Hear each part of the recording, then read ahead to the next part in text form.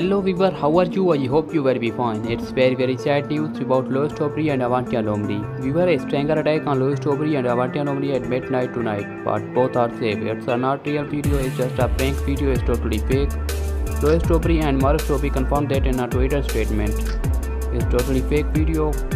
Some YouTuber posted on YouTube Lois and Mark Dobre stranger attack on Just News. Viewer Lois Dobry Mofide and Mark Dobry Mofide, known as the Dobry Transfer, have made a name for themselves. The social media stars fans have gained legion of followers, over 32 million on YouTube and over 38 million on TikTok to be exact. With a unique brand of pranks, stunts, comedy skits, and vlogs like so many social media sensations, the boy did not start out among the star.